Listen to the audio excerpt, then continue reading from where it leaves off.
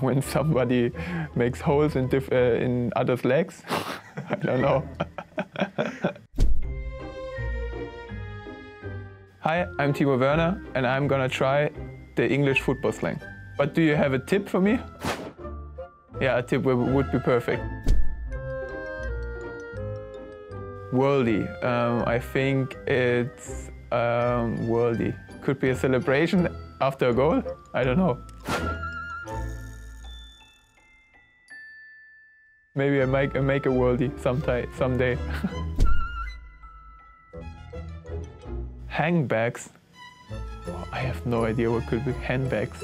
If somebody is very slow.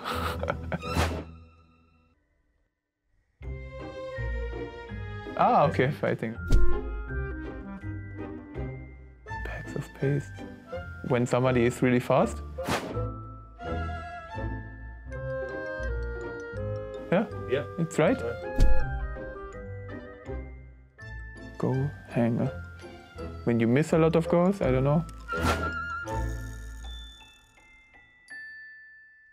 Ah, ah, it's me. So you can call it Timo.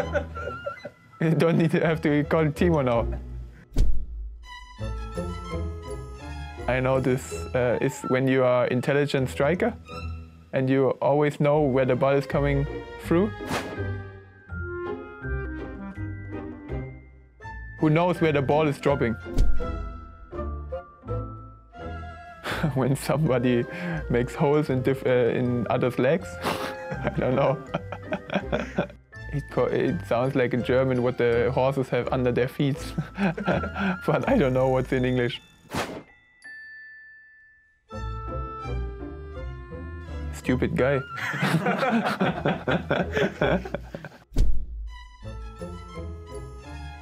What could it be? Showboater. When somebody beats a show, when he's very good? I don't know.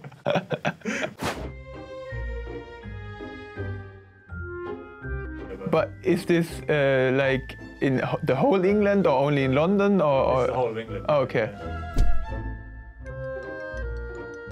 When someone beats you very hard? Like, Oh, yeah. you know what I mean? Like, Yeah. he's like this. When you go to uh, bed, Bedouin or Tipico and uh, make some tips of the game, I don't know. When the ball is have a spin, a, a different spin. Ah, okay, okay.